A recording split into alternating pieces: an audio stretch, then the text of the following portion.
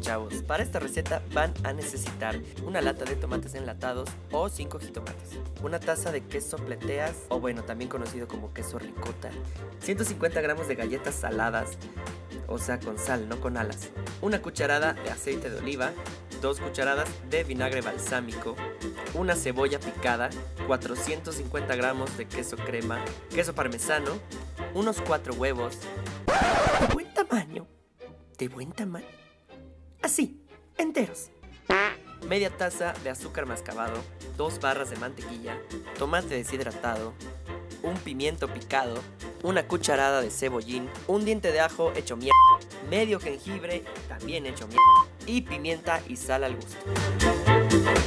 Ok, lo primero que tienen que hacer es agregar una cucharada de aceite de oliva a una sartén y después poner a freír la cebolla y el ajo. Van a tener que moverle un rato hasta que quede doradito.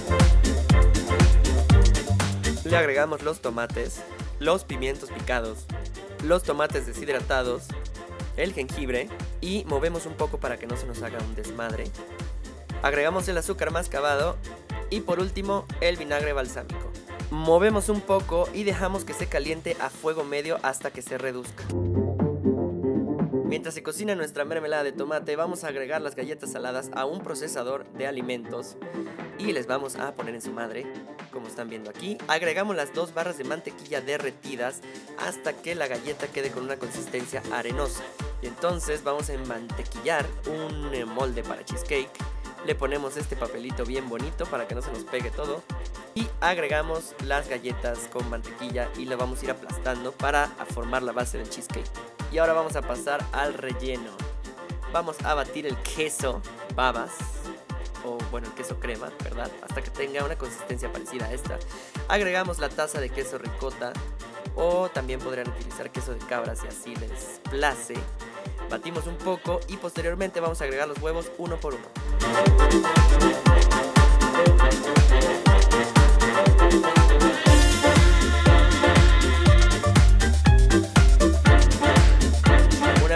Echado todos los huevos, o sea las ganas, eh, agregamos el cebollín picado y pimienta y sal al gusto.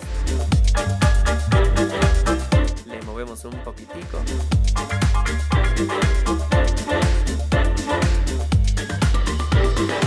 vamos a vertir la mezcla de quesos en el molde con la base de galleta salada y nos la vamos a llevar al horno por aproximadamente unos 50 minutos a 180 grados centígrados. Después de pasado este tiempo podemos agregar nuestra mermelada de tomates que ya debe estar reducida y se debe ver más o menos así.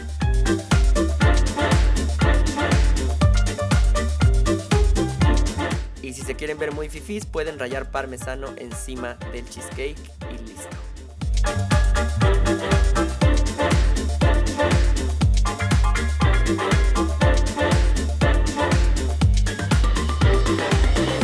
Qué emocionante estar aquí en esta cocina después de tanto tiempo. Lo más padre de todo es que al fin estamos haciendo un, este, pues una como edición de Feed My Dish.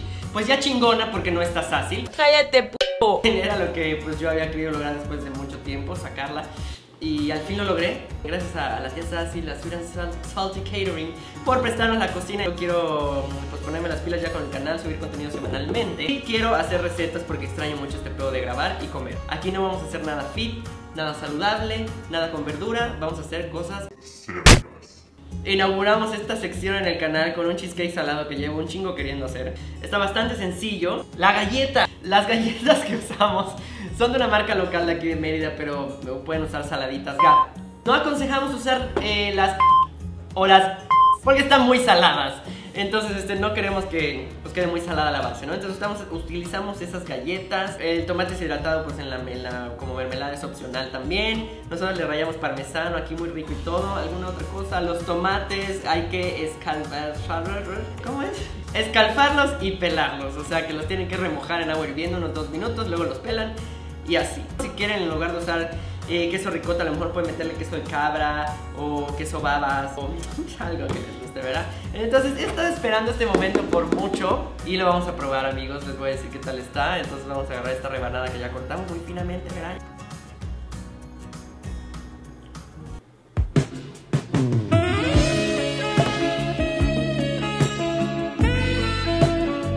Chavos, no sé si me lo quiero comer o me lo quiero untar en los pezones de lo delicioso que está. Por favor, háganlo. Esto está excelente para acompañar con una ensaladita. Un vinito, por favor. Yo creo que van a sorprender a sus, invitados si hacen algo así. Van a decir un cheesecake salado como chingados. Pues espero que les haya gustado la receta. Por favor, comenten abajo qué les gustaría eh, ver o aprender. O también va a haber invitados cocinando. Espero que esté fácil pronto en alguno de los videos.